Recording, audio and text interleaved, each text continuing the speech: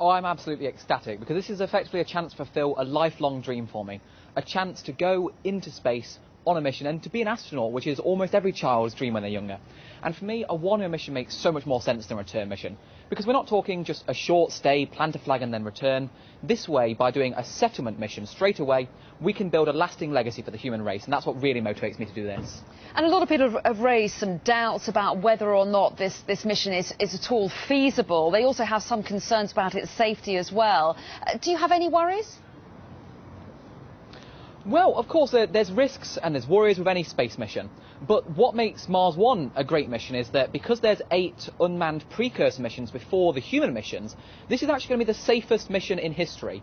Don't forget that the Apollo module that landed on the moon in 1969 was never tested on the moon before it landed.